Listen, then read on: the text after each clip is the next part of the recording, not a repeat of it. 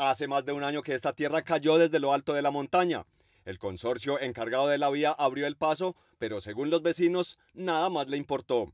Llevamos 15 meses y este derrumbe está tal cual, o sea, está brotando el agua, se está colmatando, empezó la temporada invernal y lo que vamos a tener aquí es nuevamente un derrumbe.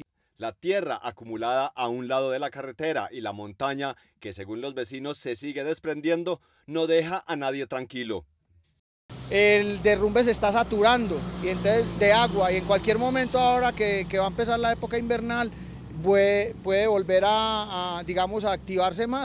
Aguas que bajan de la montaña se acumulan en esta pequeña cima, que es como la parte superior del derrumbe.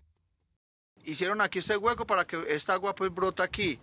Y miren esta agua, va bajando, ahí va el chorrito de agua. El miedo a un nuevo deslizamiento no es el único problema que tienen, pues en esta zona hay casas que llevan más de un año sin agua por cuenta del derrumbe. Nos quedamos sin agua debido a, ese derrumbe. ¿Y cómo están haciendo? No, pues recogiendo agua de la que llueve. Se dañó toda la tubería y al último no hemos hablado para que los, los pongan en el lago, lo solucionen pues la cosa y no.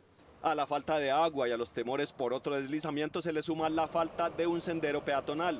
Según los habitantes, una tutela obligó a la construcción de uno, pero esta fue la manera de cumplir la sentencia. Tener un sendero peatonal hacia allá, lo cual no se nos dio, lo cual nos dieron como engaño esto.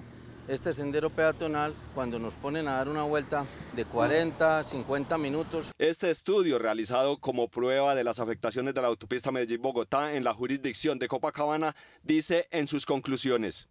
Al comparar la cartografía actual y la cartografía del año 1962, se observa que las obras de descole la autopista han generado nuevos cauces en las laderas, que no son naturales ni provienen de nacimientos de aguas. ¿Y esas aguas qué pasa con ellas? Corren hacia la ladera abajo sin, sin ninguna conducción correcta por, y técnica por parte del concesionario.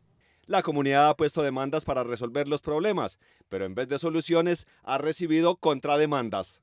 También hemos recibido demandas por cuantiosas sumas de dinero, por 2.900 millones de pesos nos estaban demandando y acusando de que nosotros ocasionamos eh, el derrumbe. Un reclamo de la comunidad sin solución hasta ahora y que de no ser atendido podría producir una tragedia.